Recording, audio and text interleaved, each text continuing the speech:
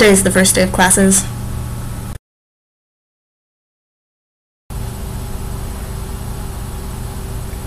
It wasn't that bad.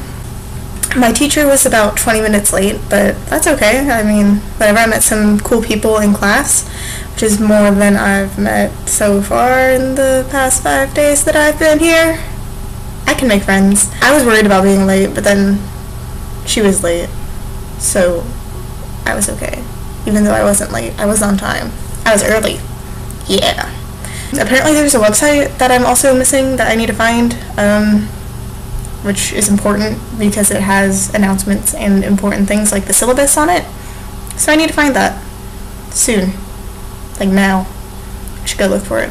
Um, she seems cool, uh, my professor, and um, she seems really into what she does and to the subject. So that's that's always good to have a teacher who really enjoys what they do. So yeah, I'm gonna go eat dinner now. Bye.